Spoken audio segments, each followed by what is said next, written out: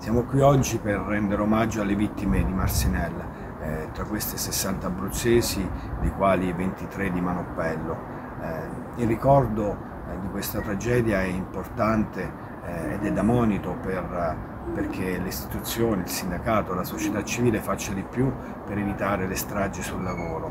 Eh, tutto questo ci fa anche riflettere su come sia importante accogliere le persone eh, che emigrano magari vengono eh, in Italia scappando dalle guerre e dalle carestie, come è necessario appunto dare loro accoglienza. Ed infine ci fa anche riflettere su come sia importante eh, che vi siano politiche eh, economiche per il pieno impiego, perché i nostri giovani eh, non debbano eh, emigrare per, per, trovare condizioni di vita eh, adeguate.